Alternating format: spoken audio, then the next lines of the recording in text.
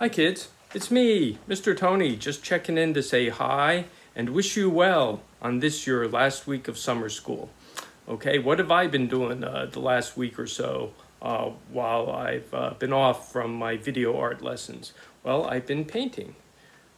And over my shoulder here is a painting that I'm working on. This is actually an old painting and I pulled it out and I thought, you know, this needs a little more work still.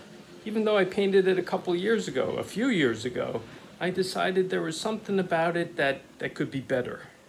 And I uh, took out my photograph that I started with, and I noticed in a glance that the blossoms uh, were much bigger than what I had in the painting.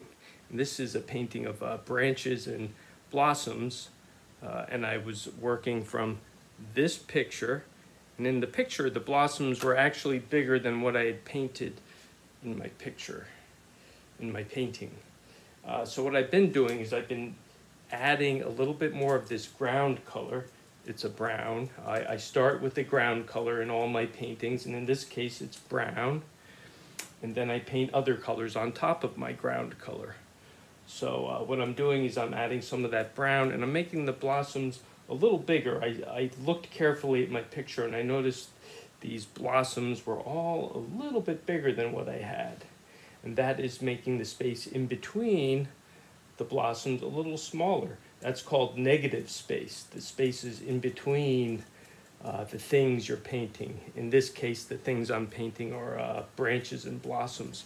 So there was too much of that negative space, so I'm uh, adding more to uh, the uh, blossoms and the branches, and I'm making it better, I think, I hope.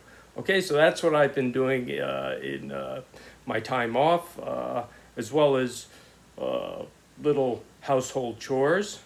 I've been taking care of my cat here. He just showed up. I'm going to show you my kitty cat. There he is. He's relaxing. It's too hot for him to run around he goes outside sometimes and he actually comes back inside and he pants.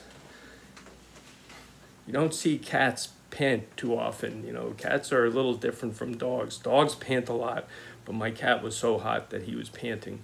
Uh, so he's got to stay inside and relax, uh, like me. Today is a hot day.